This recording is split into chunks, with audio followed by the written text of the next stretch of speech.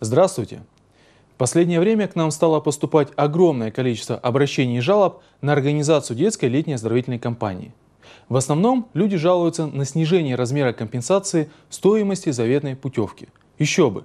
Субсидии из регионального бюджета по сравнению с прошлым годом уменьшились более чем на 35 миллионов рублей, что, конечно же, не могло не сказаться на организации летнего отдыха детей из Архангельской области. Хотя буквально на той неделе к нам поступили дополнительные финансовые средства из федерального бюджета – почти 65 миллионов рублей.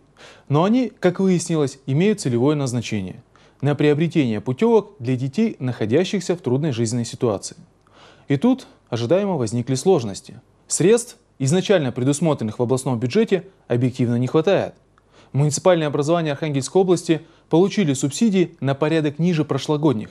Например, город Архангельск недополучил более 10 миллионов рублей. Северодвинск – около 7. Новодвинск – более 2 миллионов. Субсидии остальным также существенно снижены.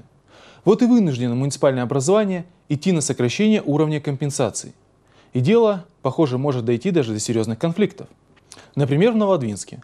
По моей информации, на днях новый глава подписал постановление, которым внес изменения в порядок предоставления мер соцподдержки в сфере обеспечения отдыха и оздоровления детей.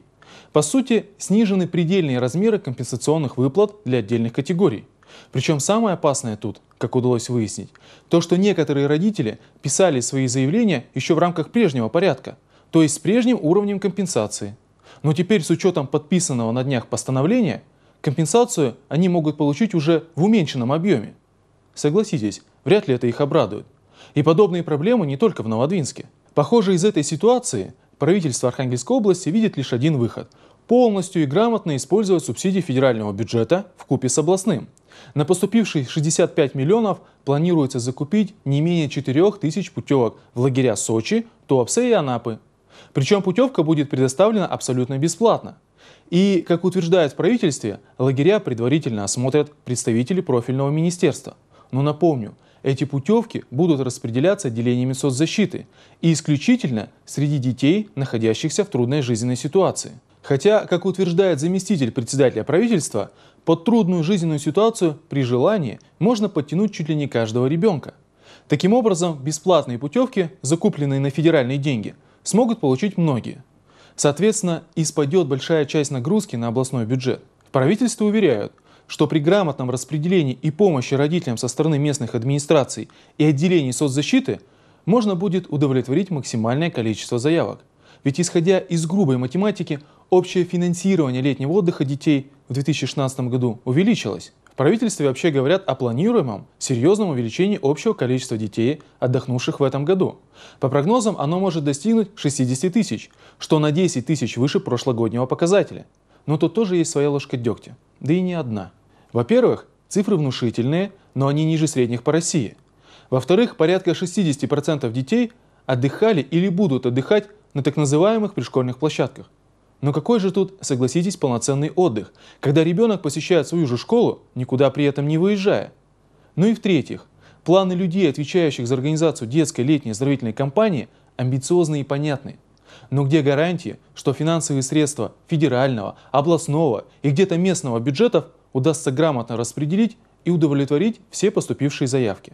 Причем удовлетворить их желательно по максимальному уровню, установленному распоряжением того же правительства – то есть 802 рубля в день для лагерей, находящихся в Архангельской области, и 600 рублей за ее пределами. Как я уже отметил, правительство Архангельской области, похоже, видит лишь один выход из сложившейся ситуации – максимально и грамотно использовать федеральные средства в купе с областными. Но нам кажется, что выбор единственного пути здесь неоправданно рискован. Организация полноценной детской летней оздоровительной кампании – очень важная задача власти, и рисковать тут не стоит. Поэтому мы с коллегами уже внесли свое предложение, поправку в областной бюджет, согласно которой субсидирование детского отдыха должно выйти на уровень прошлого года, на 35 миллионов больше. И тогда с учетом средств, поступивших из федерального бюджета, компания вообще должна пройти без каких-либо проблем. А если наши опасения окажутся не совсем оправданы, то оставшиеся финансовые средства мы также распределим на другие важные социальные нужды. Надеюсь, региональное правительство и депутаты нас поддержат. Повторюсь, но детскую летнюю оздоровительную кампанию провалить нельзя.